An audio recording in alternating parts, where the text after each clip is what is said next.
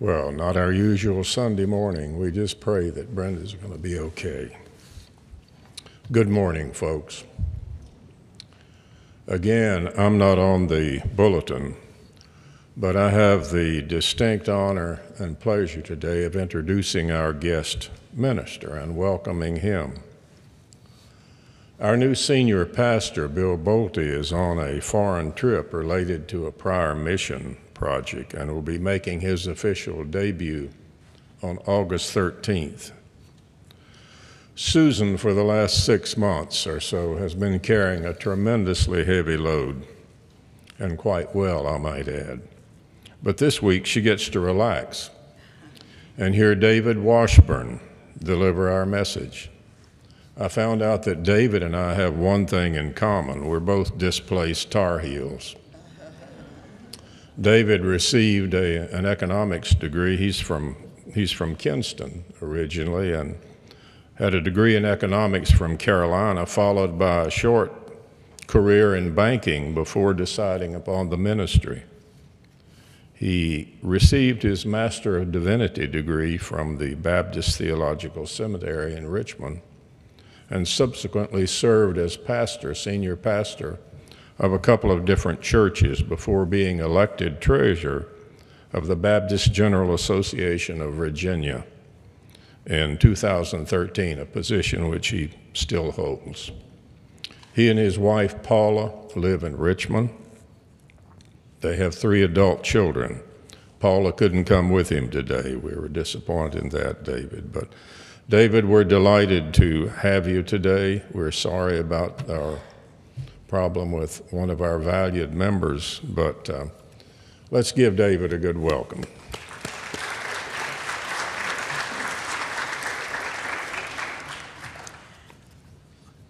in the interest of time, um, we're going to change things up just a little bit. Sorry, Pam, I didn't talk to you about this.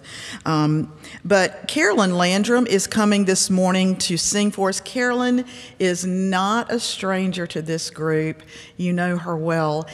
Um, but th- I'm going to ask her to go ahead and come and sing because she also has to get to her church because she directs the choir there. So, Carolyn, I'm just going to ask you to come and sing um, now and, and we'll move things around. But thank you so much for being here, Carolyn.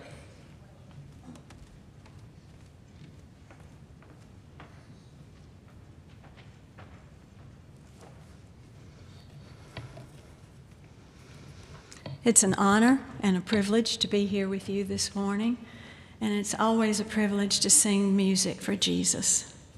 What a glorious thing that God has done in giving us music. Because those of us that sing, we take that music and we internalize it.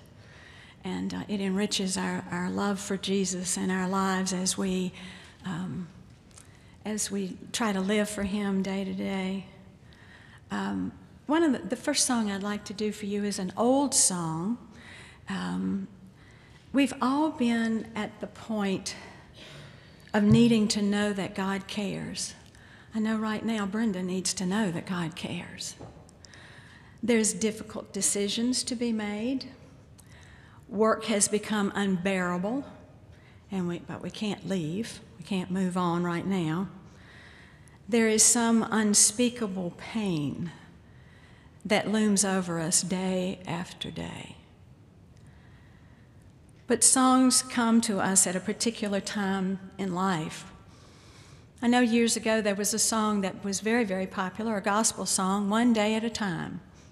And it talked about how we depend on Jesus one day at a time. I'm waiting for somebody to write the song called One Foot in Front of the Other. Some days are like that one foot in front of the other. This song carried me through some very dark days in my life. And if you're in that place right now, this song is for you.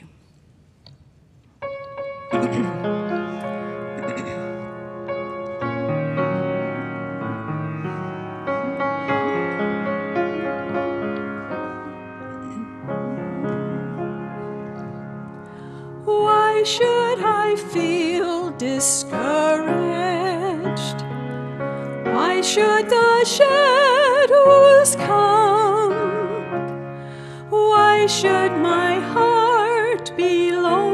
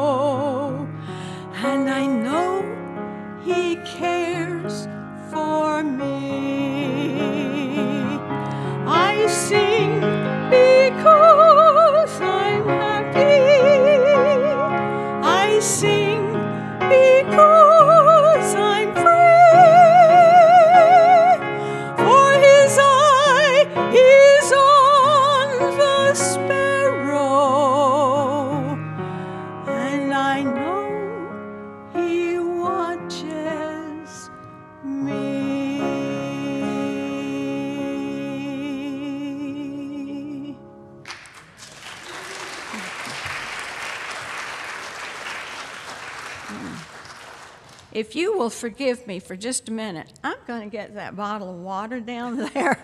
it's allergy season.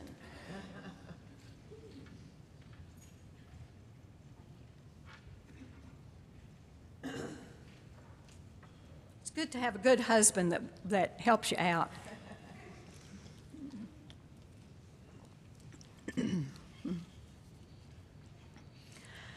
I am convinced that there are many Christians who walk around feeling guilty and ashamed and defeated.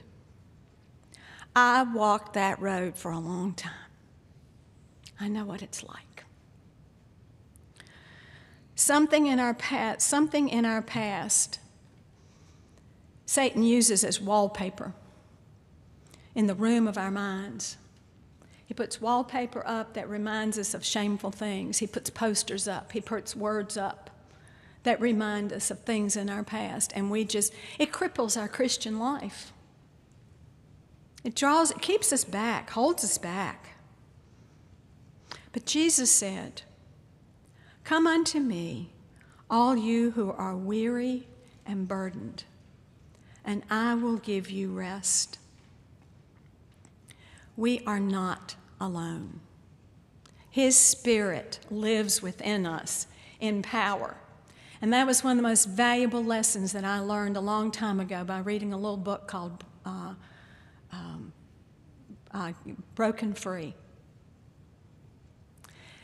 And it told me that the Spirit will give me the power to overcome if I will just turn it over Him, over to Him and trust Him. He will take our burdens, our guilt, and our shame and give us victorious lives. And then there may be someone here who is thinking, I've got to get better before I can come to Jesus.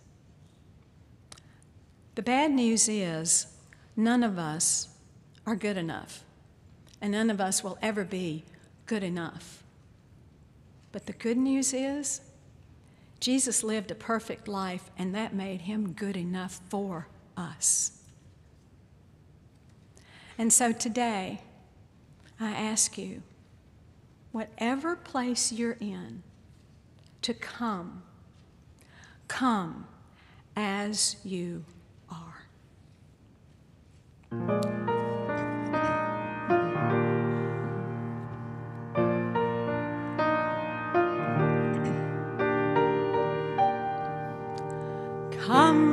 Out of sadness from wherever you've been.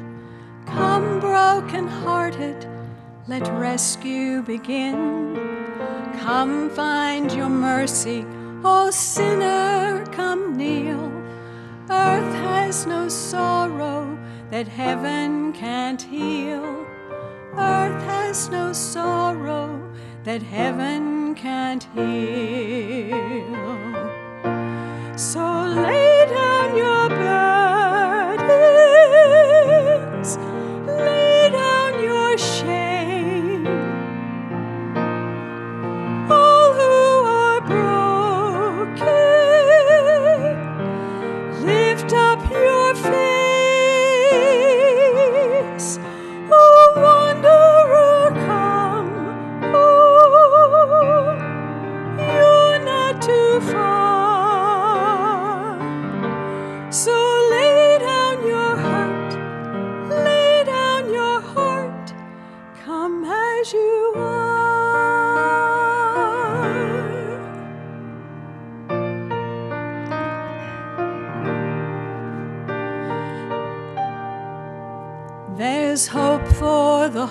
and all hope have strayed.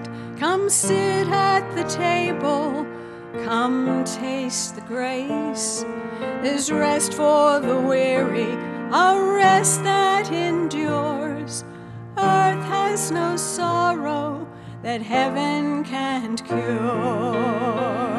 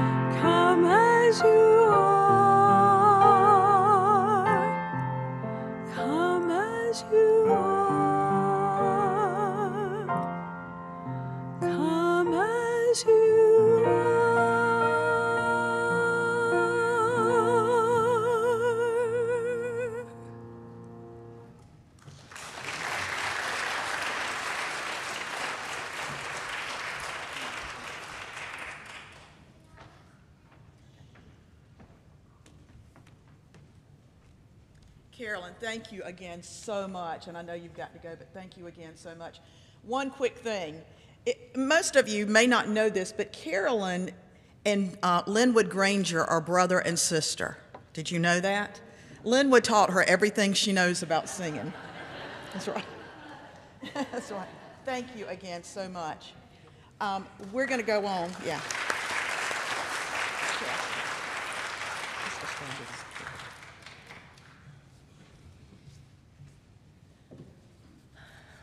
Okay, so our scripture reading this morning is John 5 1 through 11. The healing at the pool. Sometime later, Jesus went up to Jerusalem for one of the Jewish festivals.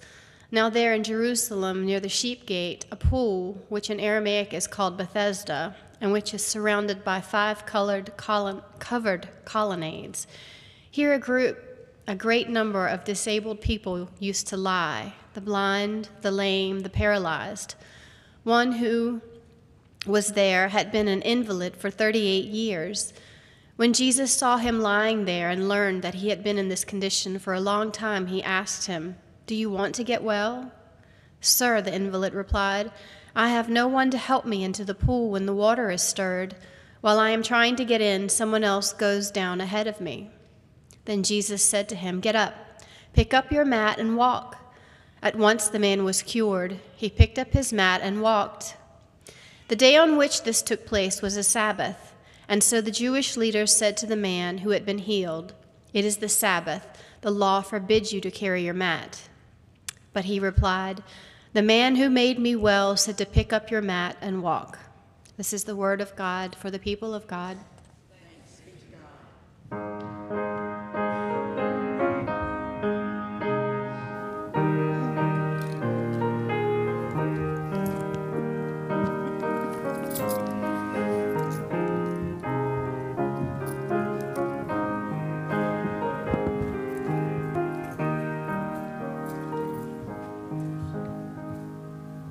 Good morning, everybody. Hey, Grace, how you doing this morning?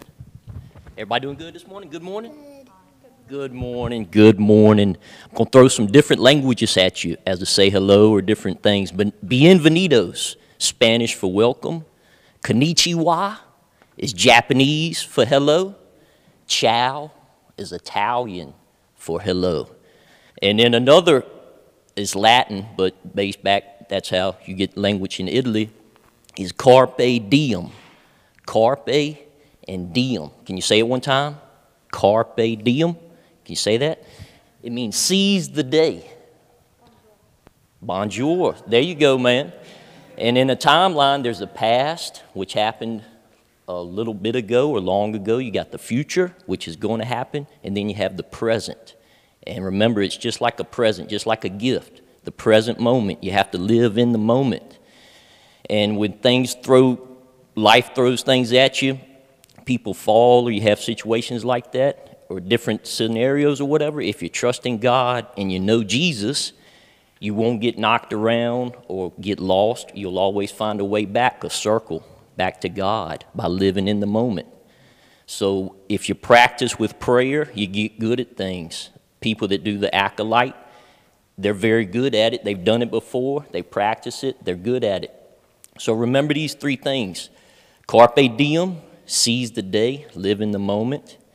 Trust in God and know God and Jesus so you won't get lost. And then if you practice things, you get very good at them. So don't be afraid of the moment that's coming at you. Whether you're nervous, happy, or scared, because the moment's coming, whether you're ready for it or not. So by trusting Jesus and knowing God, you'll be ready for anything that comes at you, no matter what. Okay? So practice things, live in the moment with God and Jesus, and seize that moment and be ready for it. And you'll be ready for it. Pam's good at the piano because she's practiced. Susan, just did a wonderful job. She practices at it, and she's good with it. And if you know and walk and talk with Jesus, you'll have power in your heart to be ready for anything that comes at you. Okay? Yep, feelings, whether they're good, sad, or whatever, be ready for them. And if you're happy and you say thank you when you wake up in the morning, that'll help set a tone for the rest of the day. So let's say a prayer and then we'll go to children's church, okay? Lord, thank you for getting us here today with all these wonderful people, all these beautiful children, young believers in Christ, everybody in this sanctuary. And please help us get through this day and this Sunday. Uh, special prayer for Brenda and help her healing and anybody else in this church world that needs your healing. Please help and guide us in everything that you do. In Jesus' name we pray. Amen.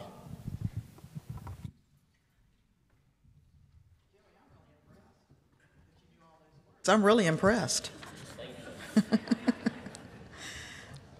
I took French and Spanish and I know nothing.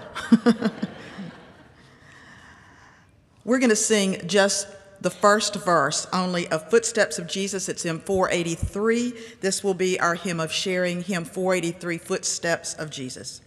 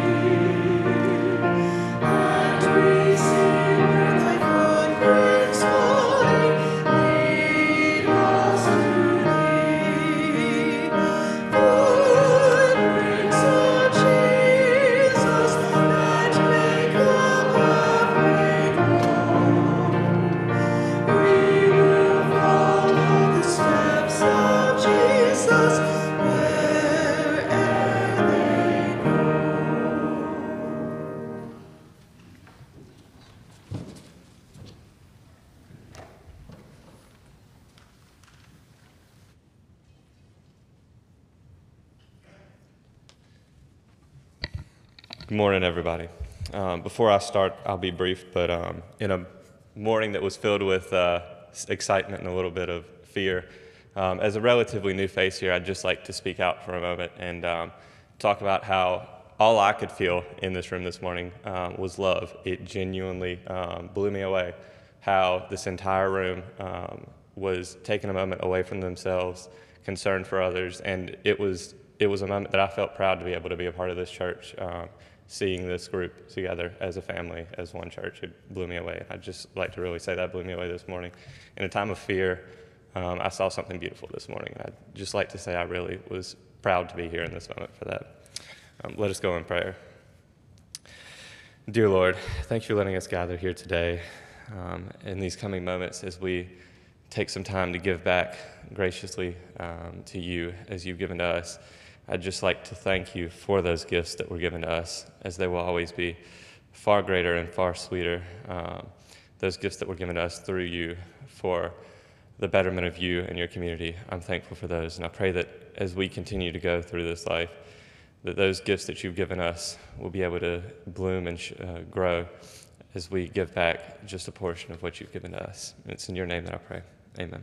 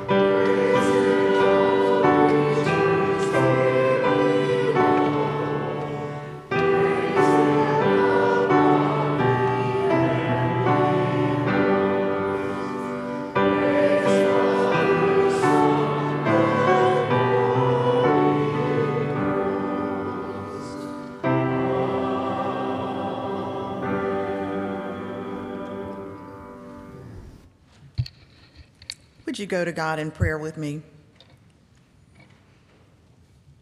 Our God, what a privilege it is for us to be in this place to worship you this morning. And sometimes it just takes something to remind us of why we are actually here. Sometimes it takes something to remind us that we are a family of God. Sometimes it takes something just to turn our attention back to you. And in the previous moments at the beginning of our service, I saw that happen. I looked around and saw so many in prayer because of their concern and care for one of our family members. And we continue to remember Brenda this morning as she is um, at the hospital. We are thankful for medical personnel, not only right here in our in our congregation, but also medical personnel um, through the rescue squad and at the hospital that will take care of her. And we pray that they will quickly find um, what's going on with her and that she quickly will be um, back to herself. We ask for healing for her, and we ask that your presence be with her. We ask also, dear God, that you help us to remember each and every day that as First Baptist Church of South Boston, Virginia, we are part of the body of Christ. It is you that we represent, it is you that we worship. It is you that we share about with others. So as we go about our lives in, the, in this day and in the future, may we remember to share love, the love of Christ, with all that we meet. These things we pray in your holy name. Amen.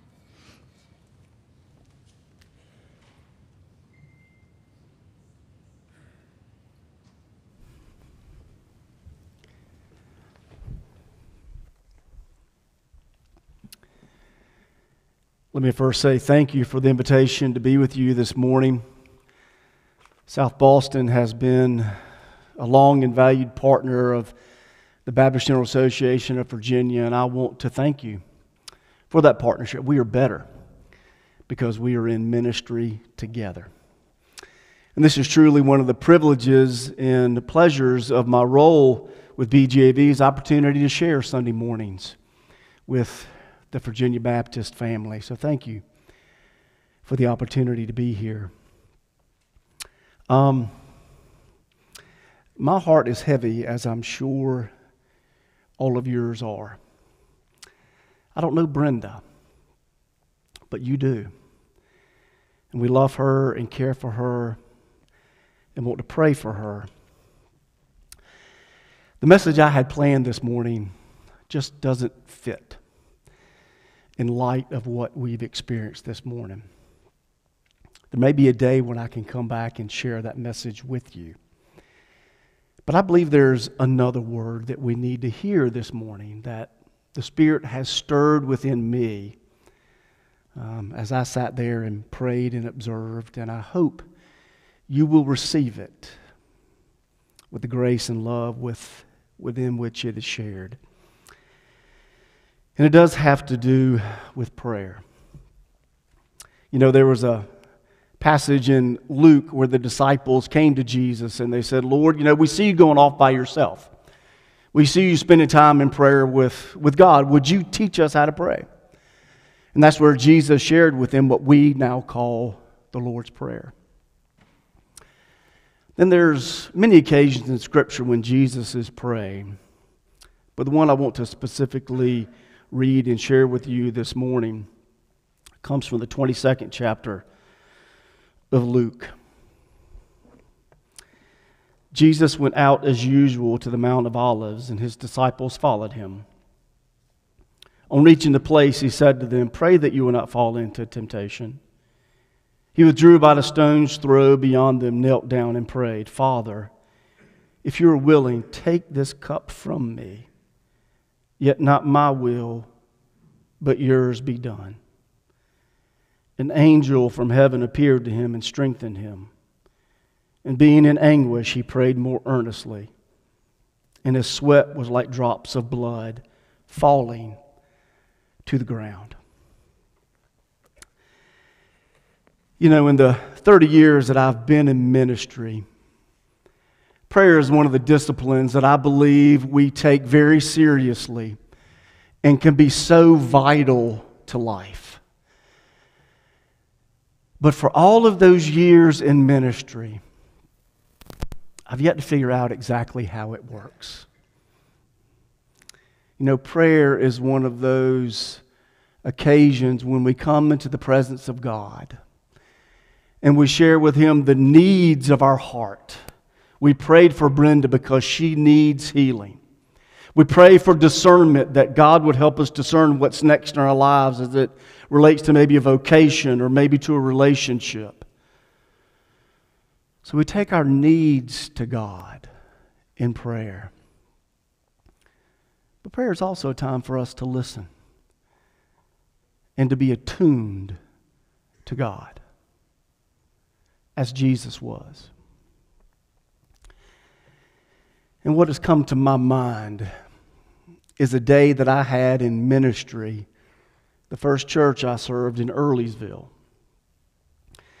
Every morning I would go into Charlottesville, Earlysville is around the outskirts of Charlottesville.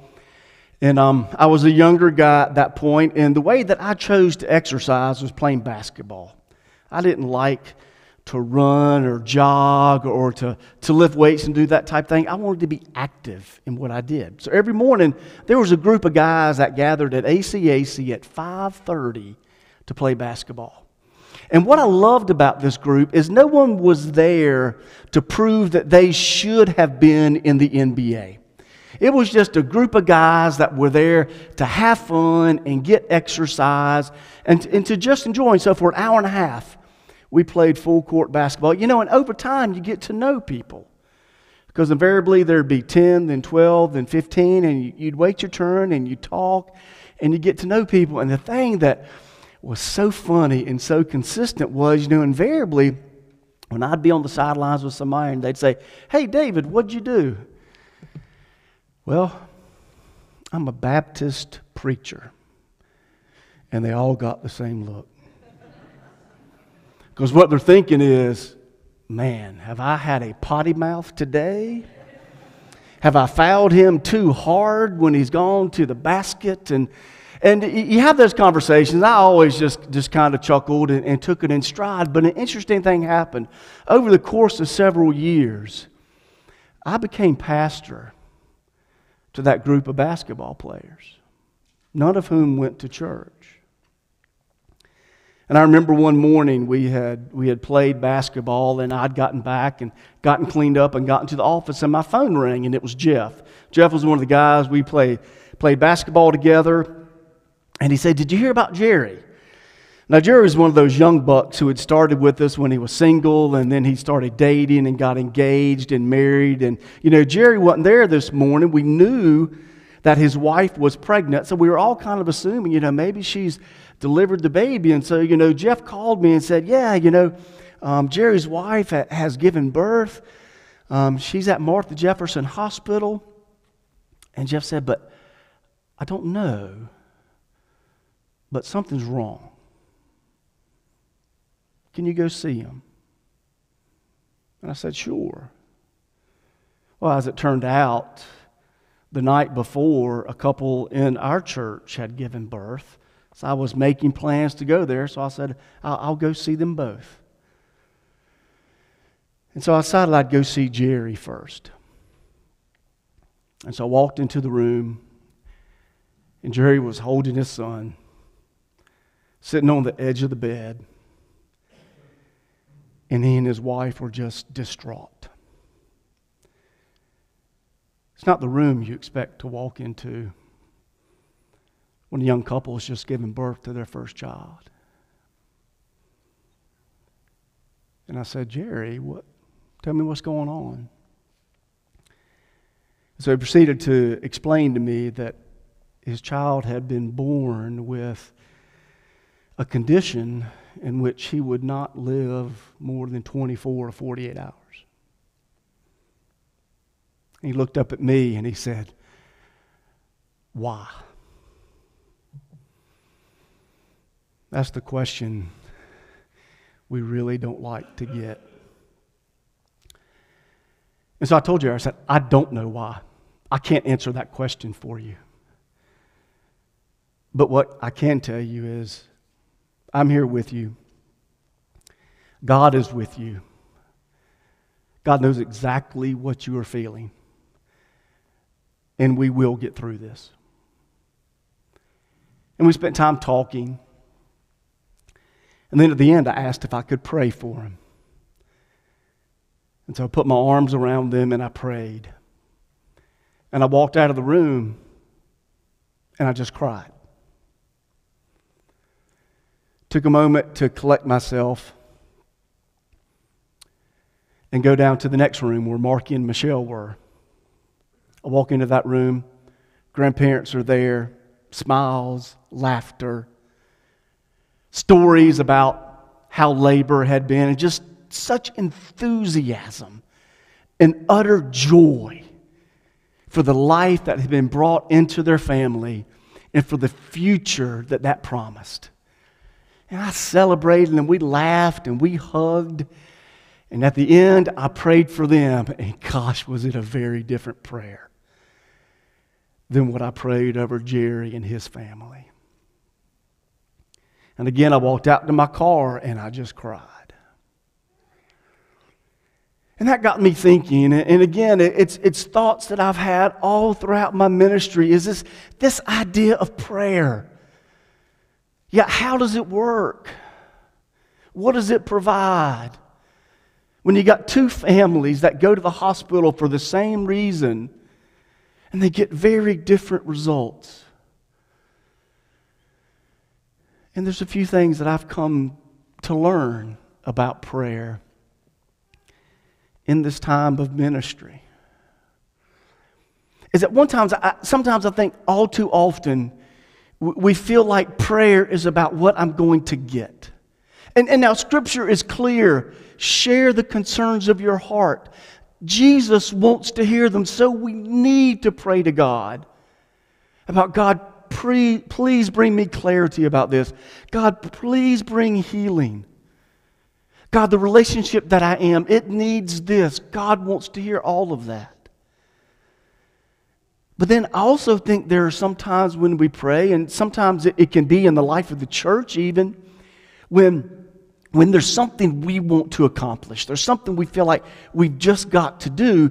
And then the prayer goes something like this you know, hey, God, I'm over here. And we've got this great plan where we're going to go in this direction. So, God, God, you come over here. You come over here and join me in what I'm doing and we're going to go do this. I don't think it's supposed to work that way. We're not supposed to invite God to come bless what we're in the midst of. I think what we're supposed to do is pray to God to find out what God is in the midst of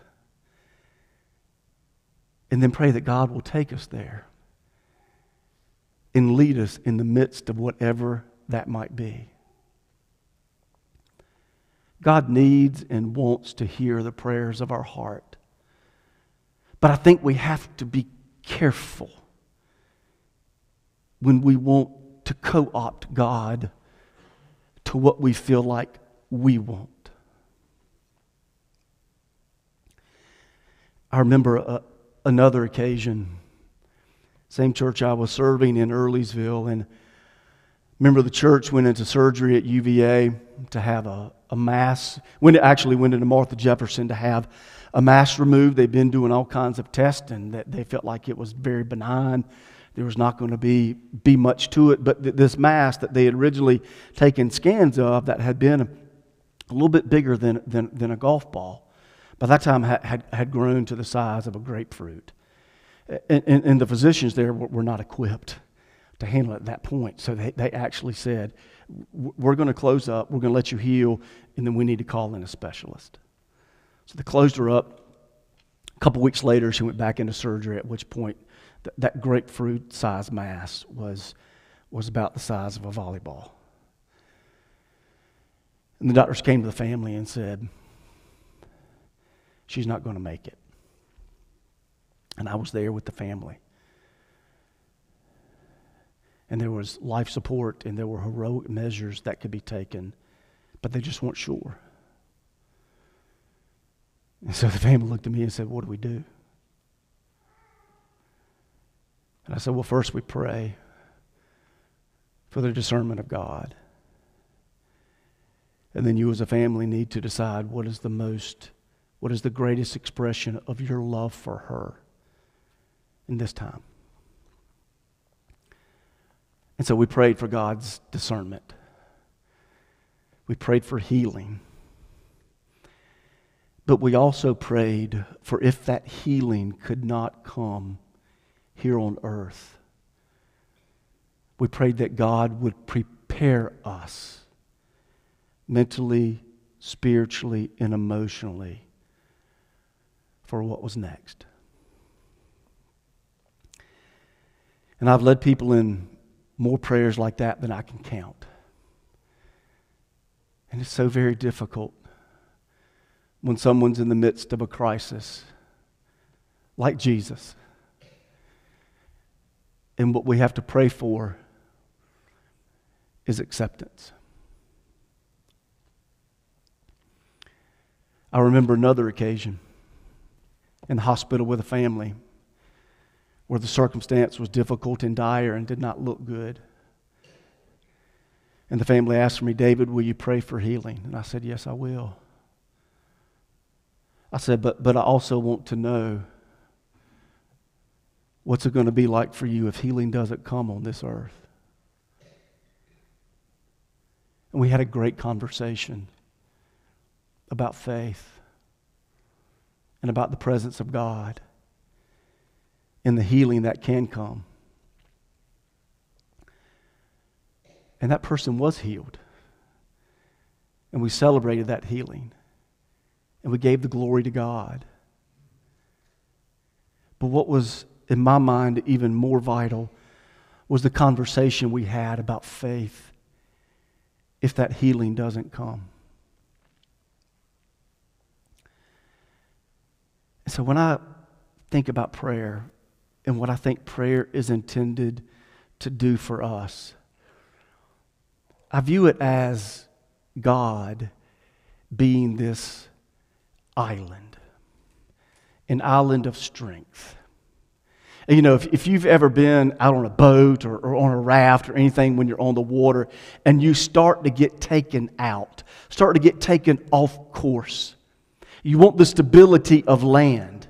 You know, if you're fortunate enough to have a rope and, and, and you can throw something back, you know that if that rope lands in the right spot, you know that you're not going to be able to pull that island. You're not going to be able to pull that land over to you. What's going to happen is when you anchor yourself and you start pulling, you're going to pull yourself towards land. And I think that's prayer. I think prayer is certainly sharing with God what's on our heart. But prayer is also an opportunity for us to draw closer to God. To not pull God over to where we are, but to pull ourselves closer to Him. And so when we pray, and we pray for Brenda, and we pray for her healing, and we pray for those circumstances in life that are less than they should be, and those relationships that are less than they should be. Let's also leave space to listen to God. And let's make sure that prayer pulls us closer and closer and closer to God. Because when we do that, I believe that's when we experience the fullness of God's presence. So that no matter the circumstance, we can make our way through it. Because God is with us. Jesus knew that God was with him. In this moment, he said, If there's any other way, please. And God said, I got you. I'm with you. May this be a day where we can all fully experience that God has got you. He's got Brenda.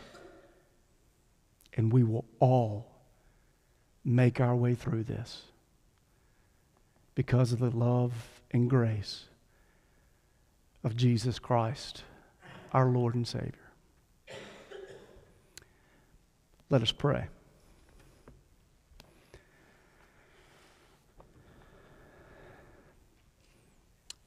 God, I echo the prayers that have already been prayed on behalf of Brenda. We're so thankful for all who have come to care for her. Thankful that as she left, she appeared to be okay. But knowing that there is still uncertainty and questions that need to be answered, and so we invoke your presence to bring clarity of what has occurred, to bring clarity about a path forward. And boldly, we pray for healing. We also pray that our spirits will be attuned and aware of your presence. That as we pray, we pray that we might draw closer to your spirit, to your will, and to the God and Father that you want to be in each of our lives so that as we voice our prayers, we will also listen and follow. I thank you for the way Jesus modeled prayer, for the way he modeled obedience. And I thank you for this congregation who is the presence of Christ in this community. May they respond boldly and faithfully to your presence in their lives. It's in Christ's name we pray. Amen.